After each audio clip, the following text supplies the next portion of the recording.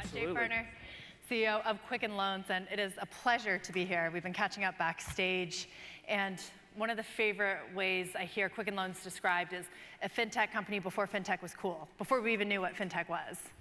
Sure, I suppose. We've been probably uh, around more than most of the businesses here in the room, 34 years. Um, and I think we were focused on being a great client experience company and recognized that uh, technology was the key to accomplishing that. Mm-hmm. Uh, and so that's been a big driver of our business for many years now. And Jay, when I was telling you how I was preparing for this, when I first got the call and said, would you sit down and do this keynote with Jay Quicken Loans, I said, I'd love to, you know, but what do I know about mortgages? I cover tech in San Francisco, and it turns out just as you said, you guys have used technology in such a way for such a long time that you've been able to grow your business. Now, the number one mortgage lender in the country, which is pretty remarkable. Tell me how you guys got there. Well, um, I think it was a recognition that to disrupt the space, we had to do things differently. So the market for so many years was based on small companies, um, really kind of hand-to-hand combat when it comes to working on mortgages, processing, underwriting. And so we took a step back and said, how do we centralize this business? How do we empower people in one or two locations to originate loans across all 50 states? And how do we build scale so we can go from a billion to five billion to 10 billion in a month uh, without affecting turn times? And so that led us back to technology and creating processes and thinking differently about how you work on a mortgage. And so in our case, one person can be working on 20, 30, 50, 100 loan files at one time.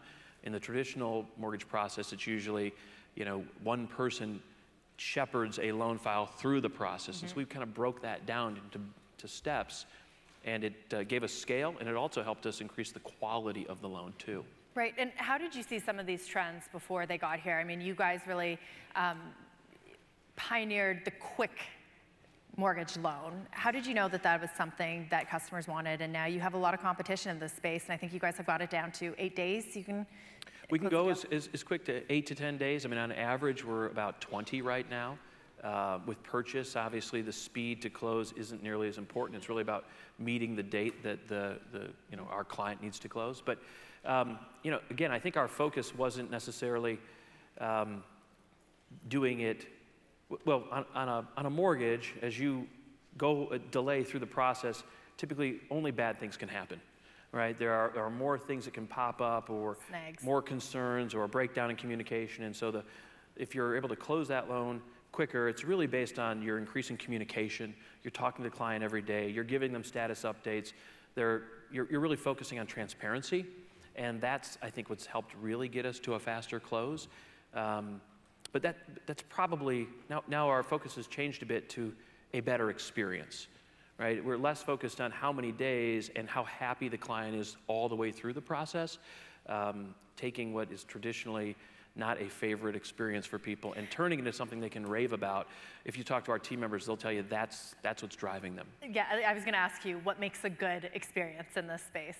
Yeah, well, again, it, it's all about transparency. I think it's about um, and we're pretty much known for this, but if you submit information, you can chat with us online immediately. We'll call you right back. Uh, we'll return phone calls 24 7 uh, or darn close to 24 7. All that information about your loan is uh, inside of that technology, mostly on the mobile app now. And, and now we're moving from thinking about it from a loan experience or a mortgage experience to a, a, a home experience. So we've launched a company called Rocket Homes. Mm-hmm. And, and so that allows us to really work through the purchase of the home, the title work, the appraisal, uh, uh, the mortgage, and the servicing. Because to a client, they don't think about those as separate things. They think about those as one experience. And so by controlling uh, or having partners that control that process from start to finish, we can bring the right information to the client at the right time uh, and, and make it a better experience for them. Now, one thing we were talking about backstage too is that you guys have been really steady, private company. Um, added products on, but not sort of at the rate of sometimes some of the other fintechs coming from Silicon Valley where they're in student loans and then home loans and personal loans. Um, has that bit, has that focus, where does that come from? Is that something that because you sort of sit in Detroit instead of Silicon Valley, you guys are looking at making sure that you're well capitalized? And also, how do you see a lot of these companies coming up trying to do everything? Well, you know, it, it, maybe it's a, for us, we looked at the market share and we said to ourselves, if we control four or five or six percent of the market, there's plenty of room for growth without having to expand uh, our, our product selection. And then, and then we also looked at, are we really great at every piece of the mortgage process? And to, until the answer is yes, uh, we thought better to focus on that product and, and, grow that market share and really make that experience great versus, versus confusing um, our, our team members on what's important. The other thing that you mentioned is we're privately held.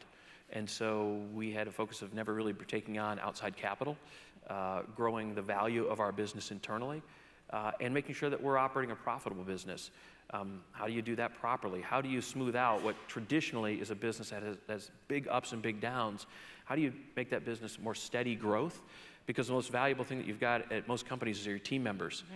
And if your business is going up and down too much, it's hard to hold on to those team members. And so um, I think we put our heads down and said, let's build a great business that can be profitable, that allows us to reduce that volatility.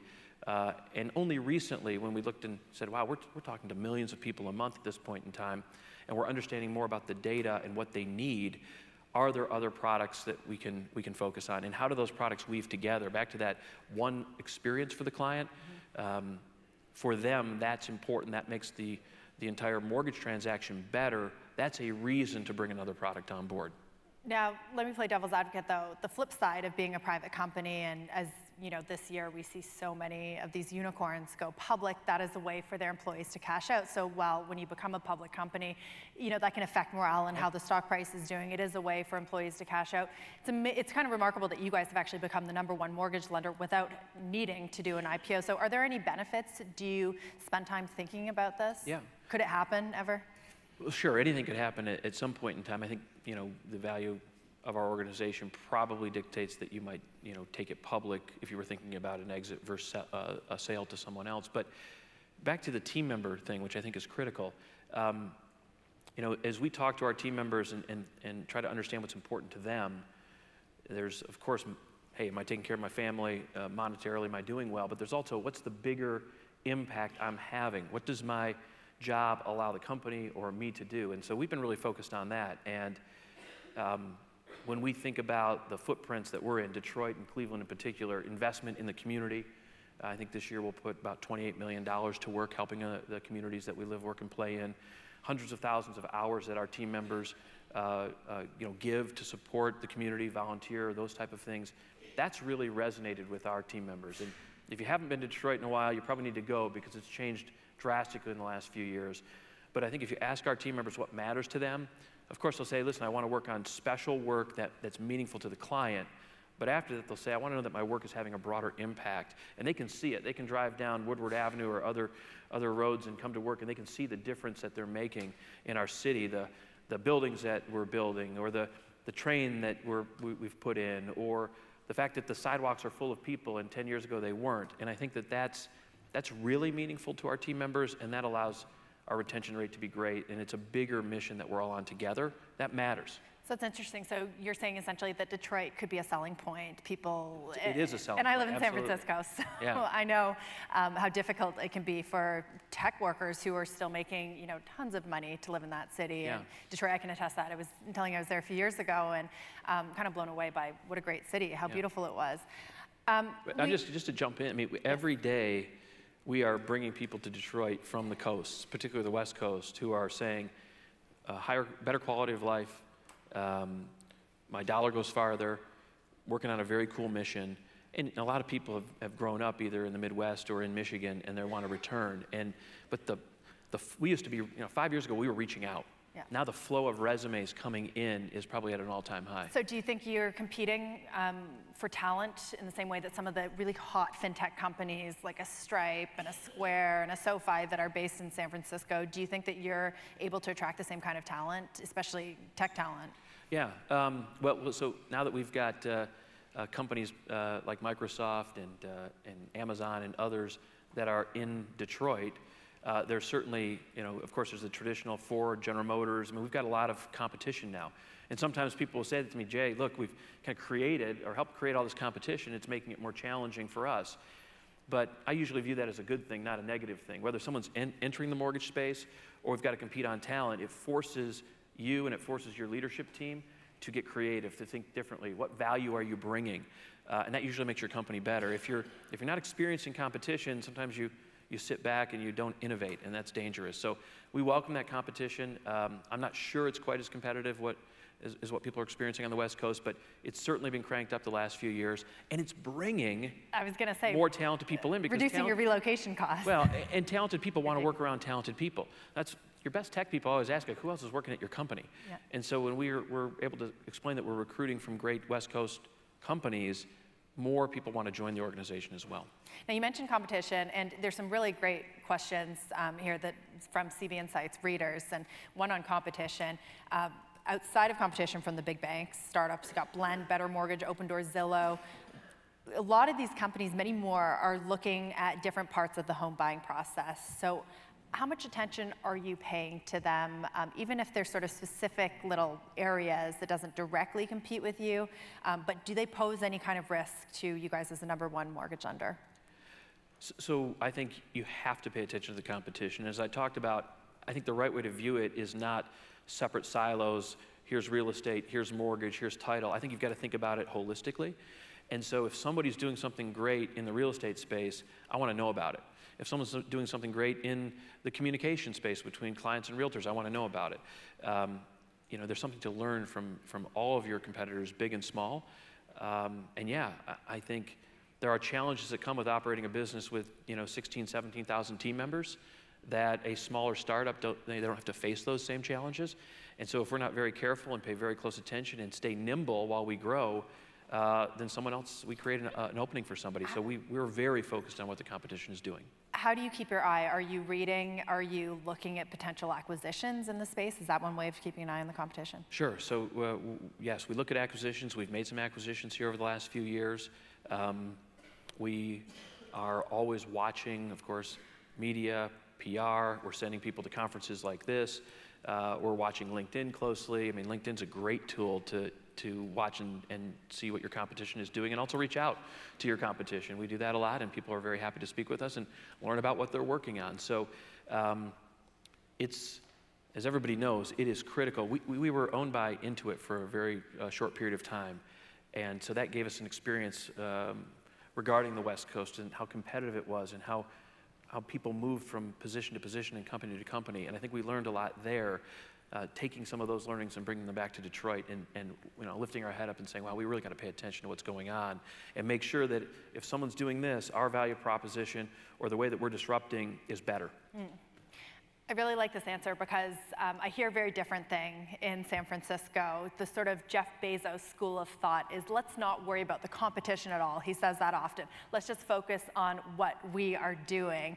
Um, whereas I think, you know, maybe being outside of the Silicon Valley bubble in Detroit, you maybe have a different perspective, which is very refreshing. But let's talk about Amazon and Jeff Bezos yeah, sure. because, um, you know, rumors that it's going to move into mortgages, um, hired a head of mortgage lending.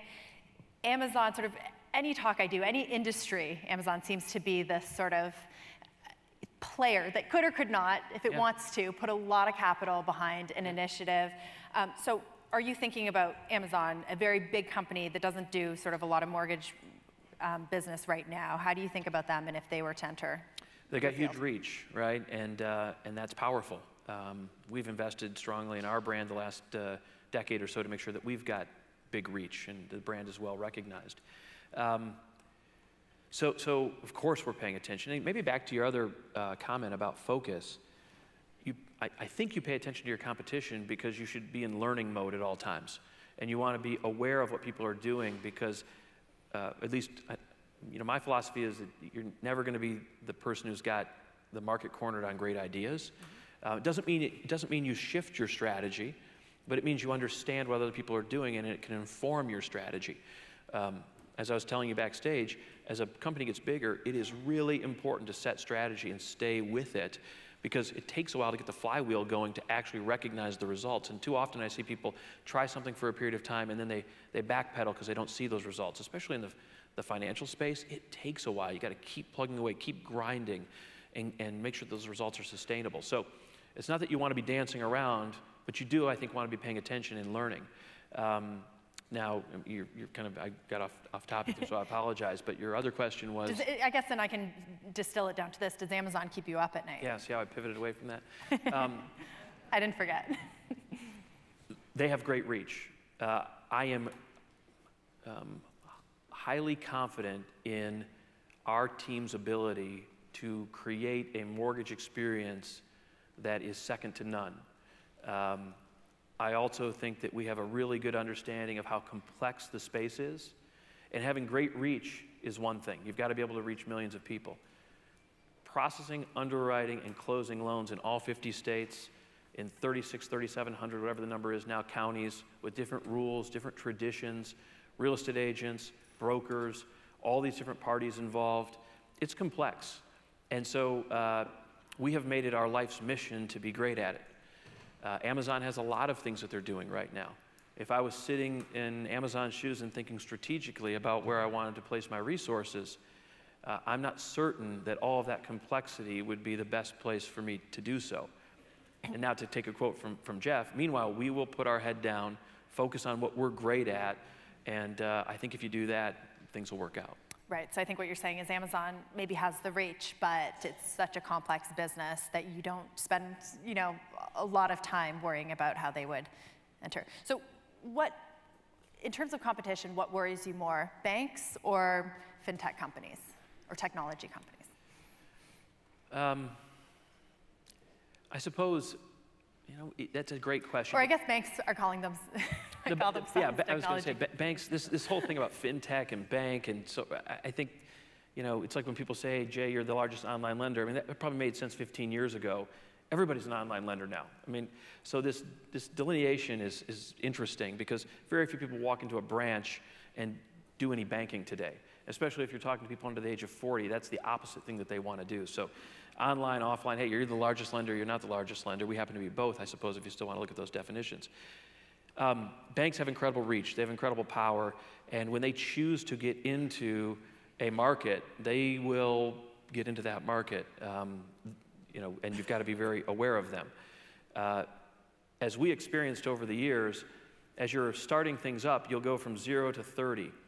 In finance in particular, you will hit some significant roadblocks. You'll have a choice. Do you push through those roadblocks? Do you, do you expand your technology? Do you get more involved in handling regulation? Do you change your management team?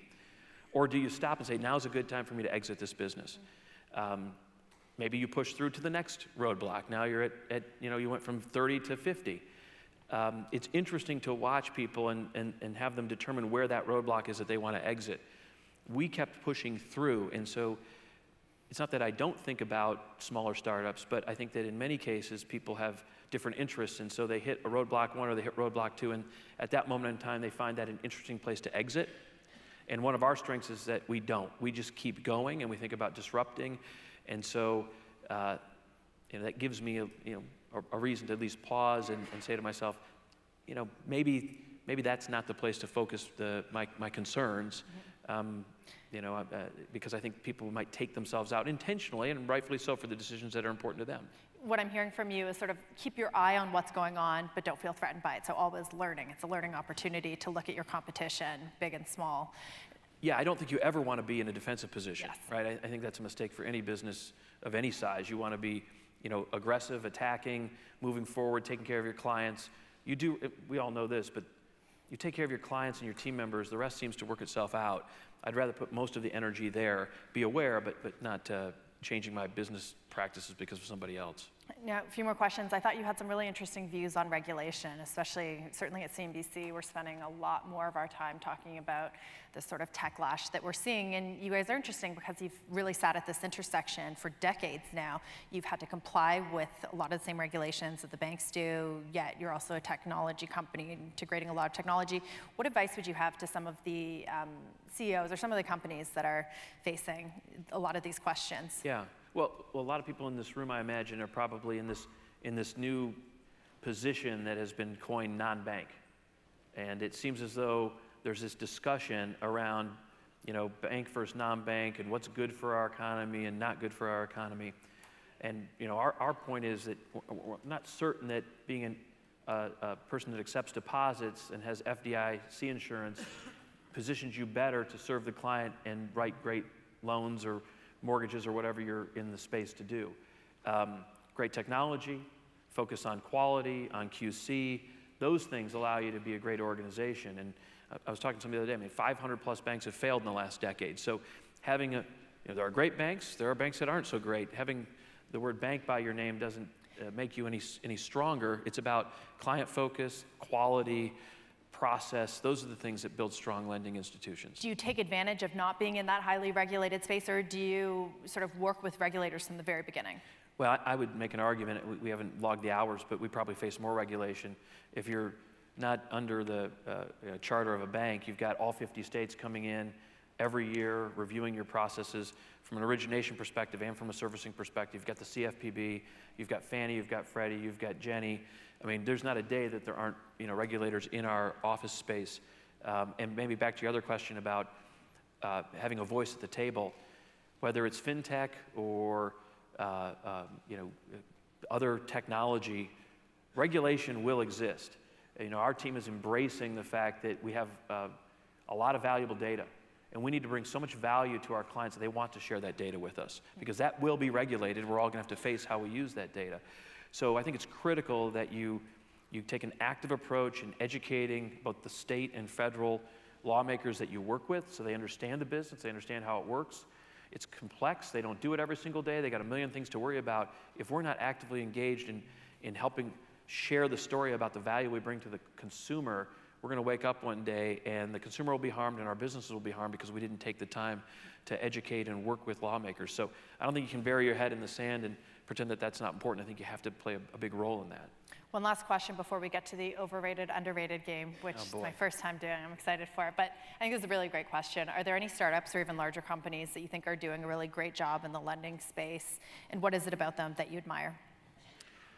Yeah, um, I think there are quite a few. You mentioned Better Mortgage. I think that's really interesting. I think AI is critical. I think we're, we've got all this data. We're in an interesting space from a mortgage perspective because even though you know there might be a better way to originate a loan that's higher quality, that brings more, uh, uh, helps clients more, makes it easier, we've got to work with Fannie and Freddie to embrace that. Uh, rightfully so, they take their time to understand those things, but so, so, I think there's some barriers there as well, but I like what they're doing. Um, I'm watching closely this intersection of look, the last 10 years have been about kind of lead creation. If you, if you look at lending, online lead creation, whether it's Zillow or um, LendingTree or other uh, uh, platforms, they're bringing some transparency and, and, value to the consumer and they're generating leads. And we've all benefited from that. But I think that experience is changing. Consumers are expecting more. And so uh, I, am really watching how, how companies are, are thinking about combining that experience and making a one stop shop for consumers while still making sure that they feel like they're getting the transparency that they need to make good shopping decisions. And that means more content. That means understanding that the consumer life cycle lasts for 12 to 24 months, not a day or two. Uh, and so I'm, I'm watching uh, content startups more closely, you know, like the NerdWallets. Mm-hmm. Um, I think they bring value to the consumer, and uh, it'll be interesting to see where they go. Very interesting. Perfect lead into your overrated, underrated. So I'm just going to give you a few names. Mm-hmm. You know how it goes. You guys know how it goes now. Um, you just mentioned them, LendingTree. Uh, overrated, underrated. Well, they're a great partner of ours. We work with them, so better be careful. I'm going to say uh, properly rated. that wasn't an option. All right, you only get one of those. Mm-hmm. Wells Fargo. You, you remember oh you already God. used yeah, yours. You said you were going to do this. Um, well, I'm, I'm, as a direct I'm, mortgage lender. I'm going to say probably underrated today. They're a hugely powerful bank. They've had some challenges, but you know, you, you cannot turn your head away from Wells Fargo. You're, you're being too diplomatic. Uh, mortgage-backed. These are all partners of mine. okay, this is not mortgage-backed securities. They're underrated. They're critical to the economy, and uh, they perform very, very well right now. Probably the best. Uh, you know, when you look at the performance, of, and it's not because the economy has been so strong. The credit box is such that these assets are they're very uh, valuable, and I think they're the lifeblood of a lot of things in the United States of America. And wow. the thought of them changing or going away should make everybody very concerned. Okay, wow, that could lead us into another half hour discussion. Yeah. Um, but we'll move on. Blockchain. It is overrated right now. Uh, we have a lot of technology folks in our company talking about ways to leverage it, but nothing has emerged yet. So it probably has potential, but a lot of the talk has been, can I just talk right now? Okay. Owning a home. I think it's underrated, uh, of course. Um, but uh, you know, Rocket Mortgage, we built it for millennials, for younger folks, uh, and the activity on that website. We've just launched a whole info seeker path, is growing rapidly. There's more to it, and I know you want this question to be short, but this is an important one. Some tax code changes thought people thought that was going to affect whether people want to buy a home. Not seeing it at all. Buying a home is an emotional decision. It's not a financial decision. It still makes a ton of financial sense to purchase a home, but people want to own a home. They like the stability, they like the certainty, they like the idea of creating something that's their own. And all of our research is showing us that people under the age of 35, maybe they got started w- building their, their lives a little slower than some previous generations, but they're on the same path. The same things remain important to them, and I think you're going to see them have a huge impact in home ownership in the years to come. Okay. So underrated. Mm-hmm. Um, last two, make them quick we're out of time. Recession fears. Uh, overrated. Overrated. Yep. Okay, last one. Toronto Raptors. Uh, well, as a Cavaliers fan, I'm I know say, you're a Cavaliers I'm fan. The, I'm going to say the Raptors are underrated, and uh, I look forward to a uh, victorious uh, uh, Toronto uh, finish here. I may or may not be from Toronto, so Yes, I, I- think I think that's a great are, note to we- end on. We've had our run-in with the Golden State Warriors as well, so go Toronto. Yeah, exactly. We're, we're kind of allies by default. That's right. Um, Jay, thank you very much, and please help me in thanking Jay. That was you were Absolutely. great. Yeah, Thank you.